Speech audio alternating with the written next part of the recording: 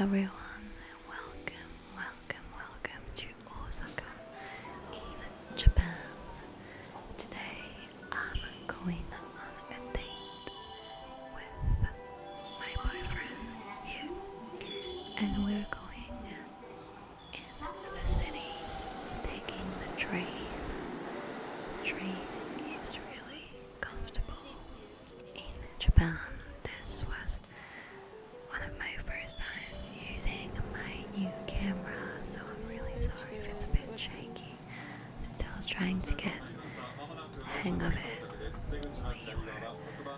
looking for what kind of food we would be eating.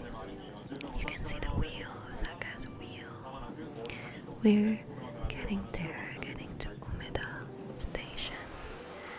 After a brief passage in the underground um, arcades where you can see beautiful street art, we went to the Lively Hotel where you, my boyfriend, previously said, uh, painted this incredible mural. He's an artist, so we went to check that out. It's really beautiful, and it took him days to do this, so I was really proud of him. And this is just me goofing around near the mural. I think it's really beautiful. Back in the subway, we decided to check out the Osaka Castle Park. Unfortunately, because of coronavirus, it wasn't possible to visit inside the castle. However, we had a good time in the park. It was really calm. Almost no one was here, so it was quite enjoyable. Here's the castle.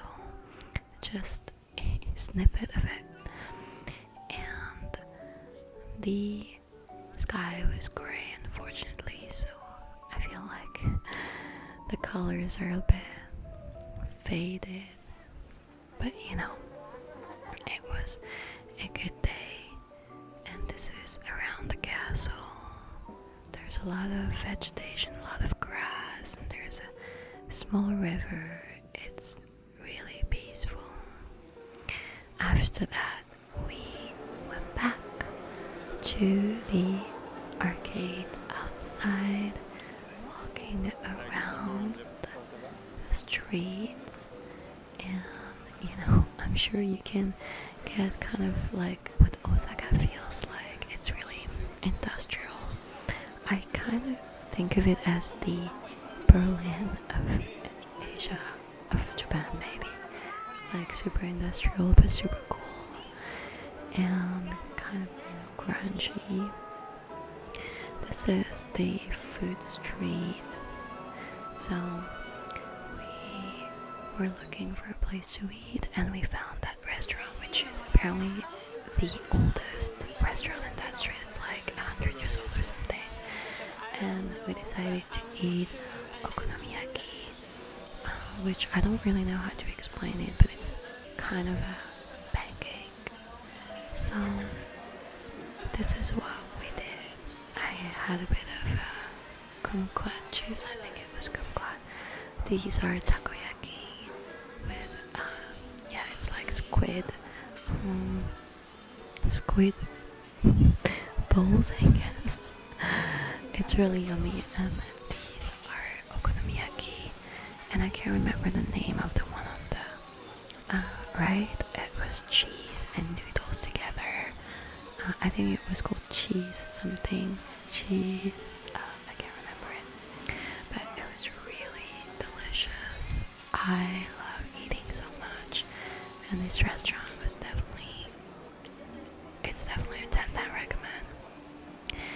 Then we went out in the street, again walking around, goofing around, and this little guy I think is super emblematic of uh, city for some reason. Like you can buy candy and cakes and figurines with his face on it, which is I don't know why.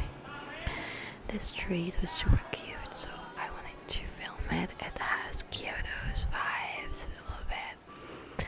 Um, and it's just really um, quiet and um, really narrow.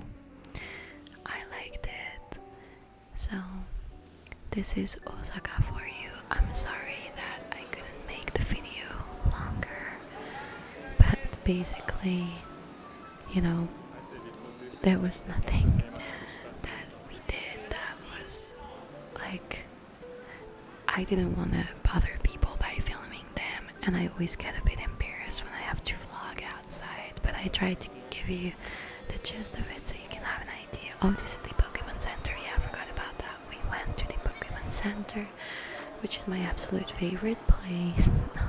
I'm not that into it, but yeah, I'm kind of into it. We went to the Pokemon Cafe. We had to like make reservation two hours ahead. And to be honest with you guys, the food wasn't great. It was actually pretty bad. But you know, you don't really go there for the food, you go there for the ambience and um, how cute it all looks. But yeah, the tea especially was really bad. I ordered um, this fluffy Japanese pancake um, with fruits, and you got this um, berry tea, but it was really sweet and had a bit of a chewing gum taste to it. I didn't like it. Um, but yeah, it was it was cool. It's like a one in a lifetime thing to do. Uh, and this is my plate. So yeah, that's a date in Osaka for you. That's my life in Japan. I hope you guys liked it, and I'll see you